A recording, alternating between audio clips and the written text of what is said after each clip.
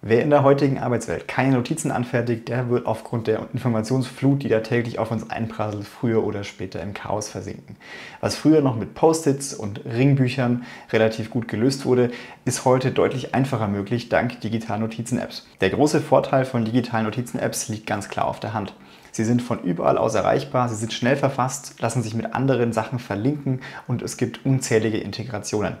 Noch dazu kann man sie im Volltext durchsuchen, so schnell wie man natürlich kein handgeschriebenes Notizbuch durchsuchen kann. In diesem Video werde ich euch meine Kriterien, was eine gute Notizen-App ausmacht, einmal vorstellen und meine drei Lieblingsnotizen-Apps hier vorstellen. Im Video, das darauf folgen wird, werde ich nochmal weitere drei Notizen-Apps vorstellen, die ebenfalls nach diesen Kriterien bewertet werden. Los geht's!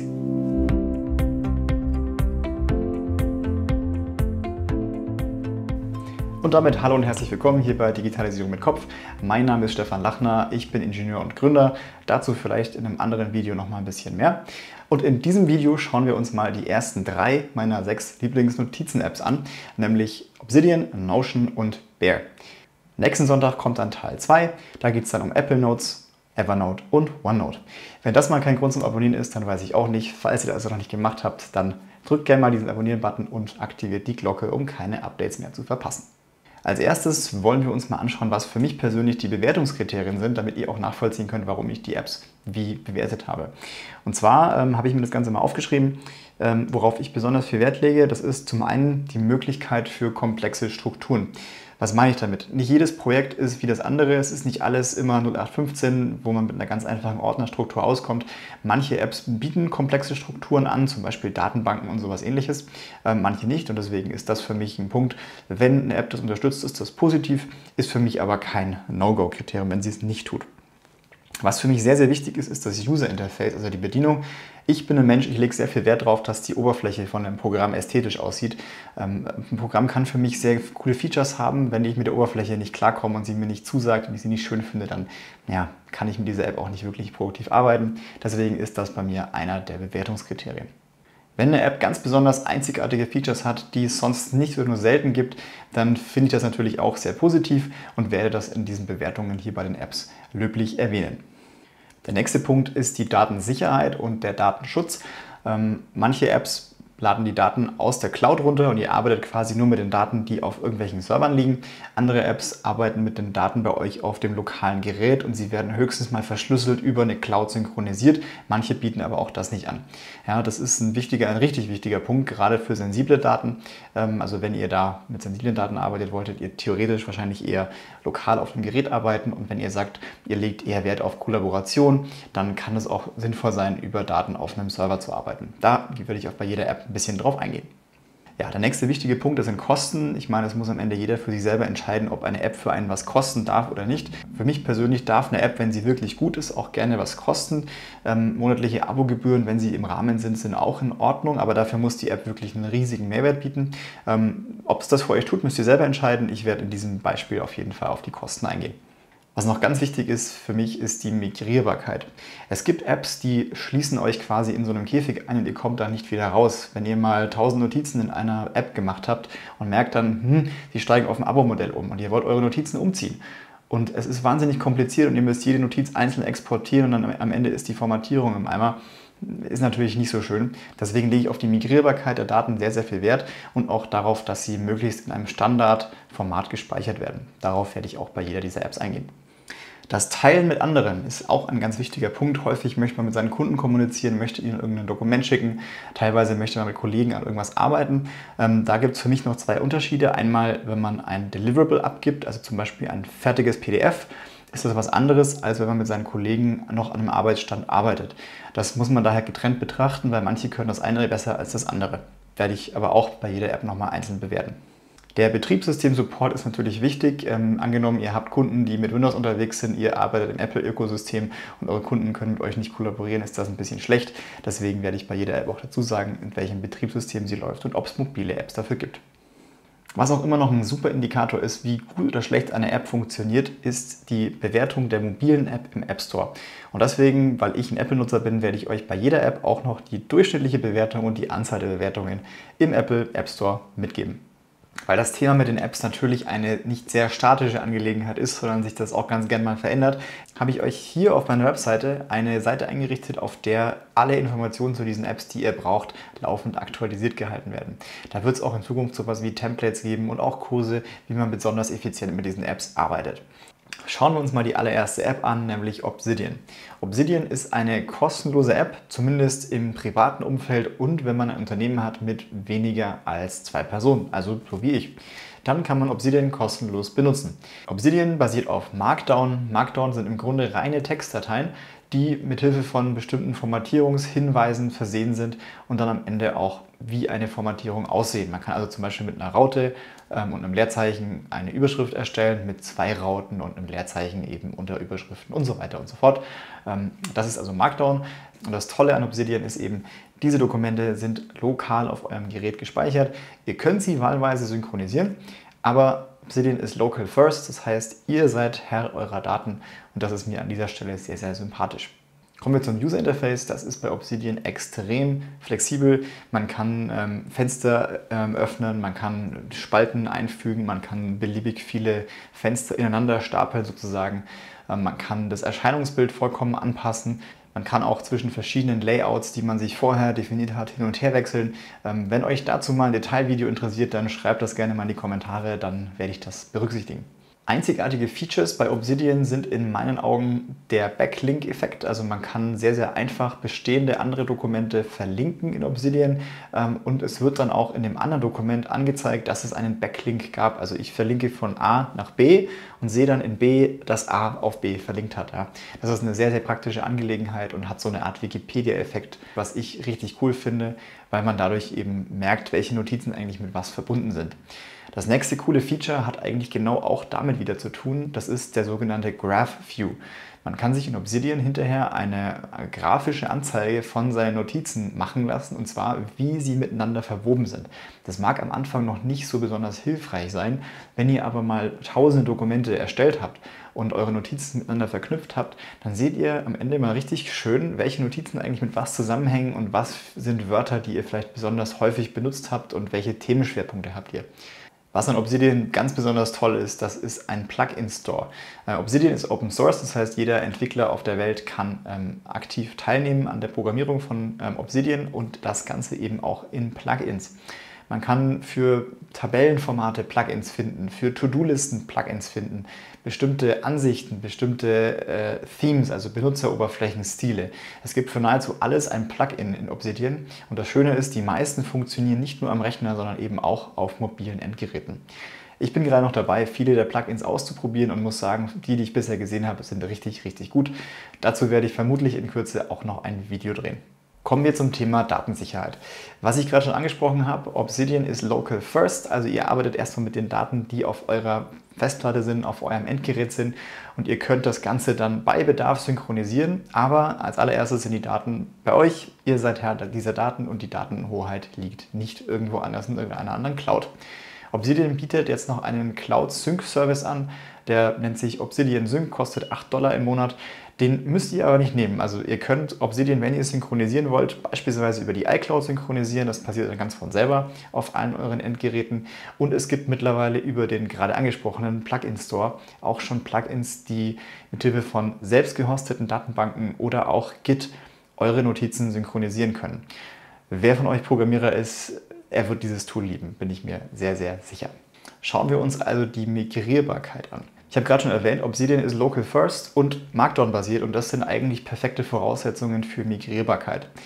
Das geht sogar so weit, dass ihr im Grunde sogar mit Apps, die Markdown auch unterstützen, gleichzeitig wie mit Obsidian an einem und demselben Dokument arbeiten könnt. Solange dieses Tool Markdown, also .md, unterstützt und den Dialekt unterstützt, der von ähm, Obsidian verwendet wird, könnt ihr sogar parallel an, einer, an einem Dokument arbeiten. Und das ist schon richtig, richtig gut. Ähm, also das heißt, Migrierbarkeit würde ich sagen, in diesem Fall volle Punktzahl, besser geht es eigentlich nicht mehr. Teilen mit anderen. Ja, ich habe gerade schon erwähnt, das Thema Teilen mit anderen ist zweigeteilt. Einmal als Deliverable, also als fertiges Dokument und einmal als Arbeitsstand. Ähm, Im ersten Fall ist Obsidian super. Ihr könnt euren geschriebenen Text, der auch viele Sachen, sowas wie Code auch enthalten kann oder Bilder, könnt ihr exportieren, als PDF beispielsweise.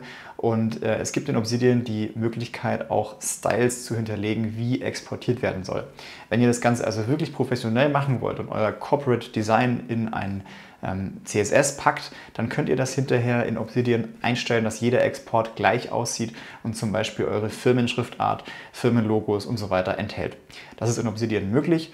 Ähm, es gibt auch ähm, Vorlagen dafür, da findet man im Internet einiges. Schaut euch das, also wenn euch das interessiert, auf jeden Fall mal näher an. Das Thema Kollaboration mit anderen, das sieht bei Obsidian nicht ganz so gut aus, weil es einfach ein anderer Ansatz ist. Das Tool ist primär dafür gemacht, äh, dass ihr selber Notizen erstellt und die gegebenenfalls mit euren eigenen Geräten synchronisiert. Zusammenarbeit mit anderen Leuten ist aktuell nach meiner Recherche nicht besonders gut möglich. Es gibt Plugins, die das Ganze ermöglichen sollen.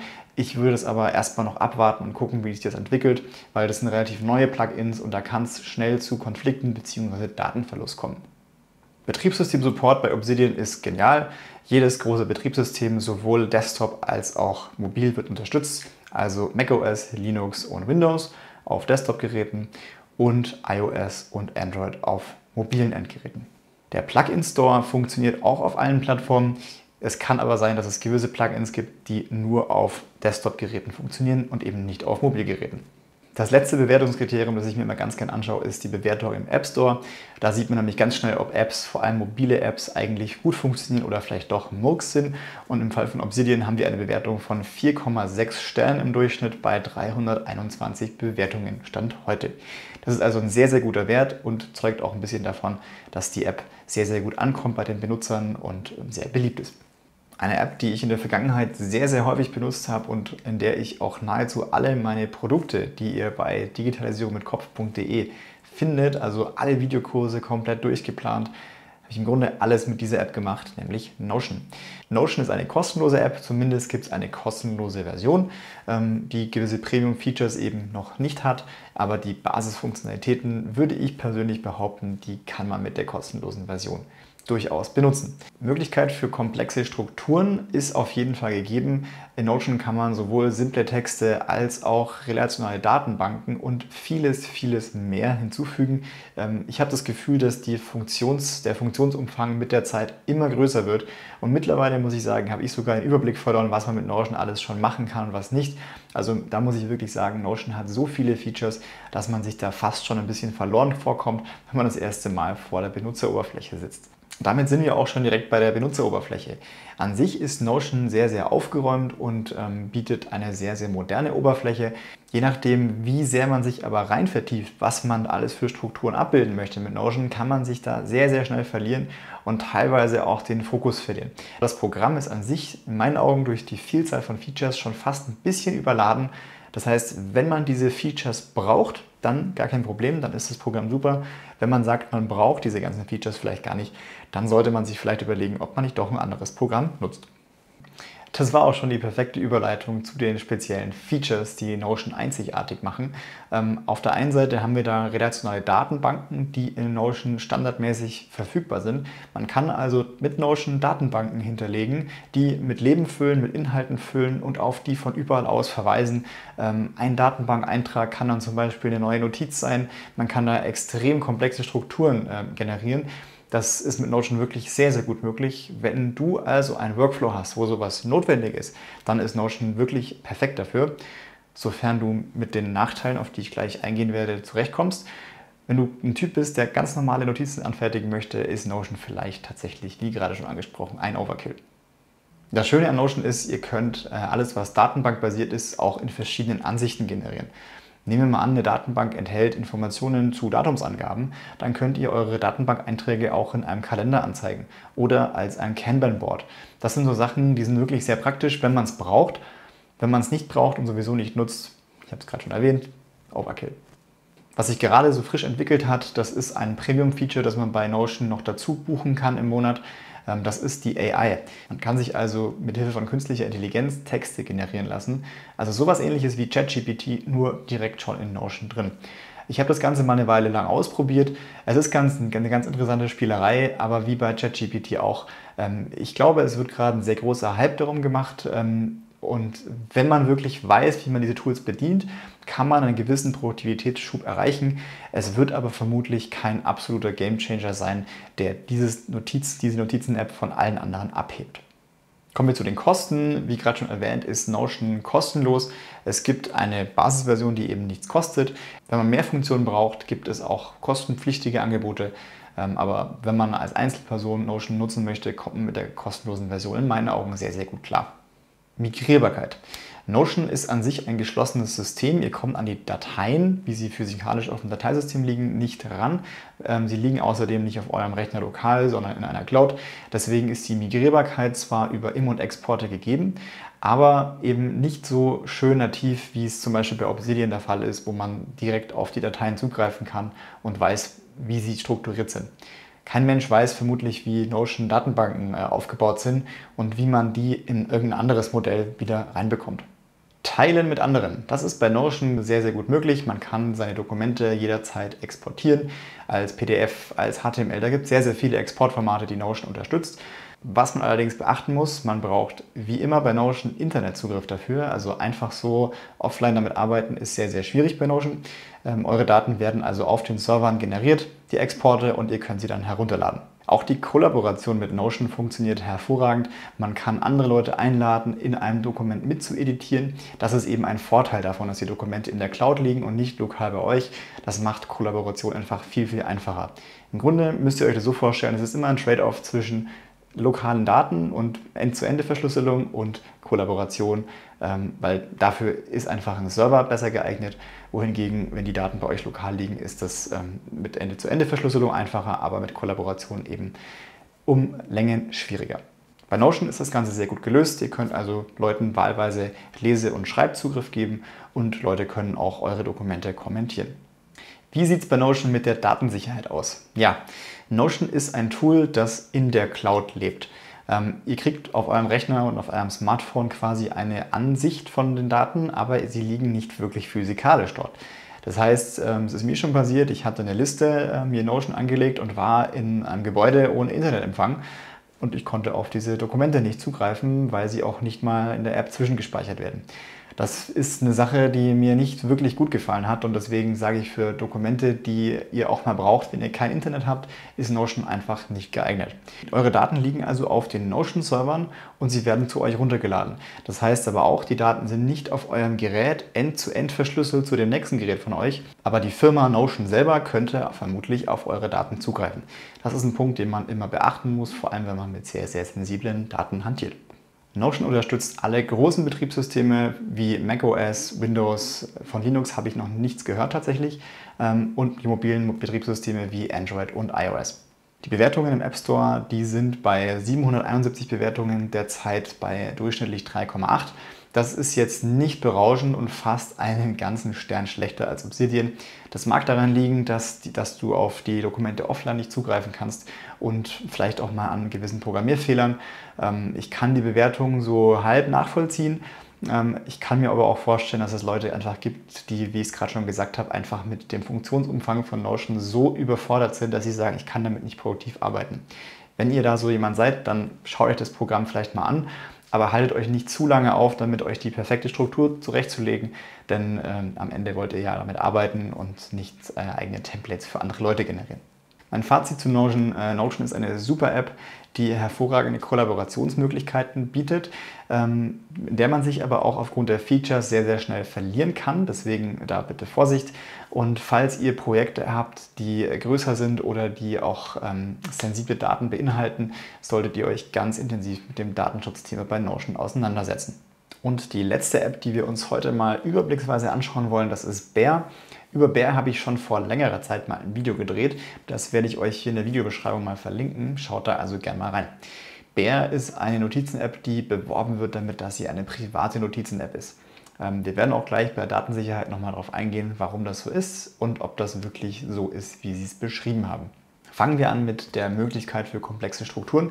Ähm, und das ist ein Punkt, dafür ist Bear in meinen Augen einfach nicht gemacht. Bear ist eine App, mit der man ebenso wie mit Obsidian in Markdown schreiben kann, also indem man diese Markdown-Sprache, wie ich sie jetzt mal nennen möchte, benutzt, um seinen Text zu formatieren. Allerdings fehlt es da im Gegensatz zu Obsidian an gewissen Features wie zum Beispiel Ordner.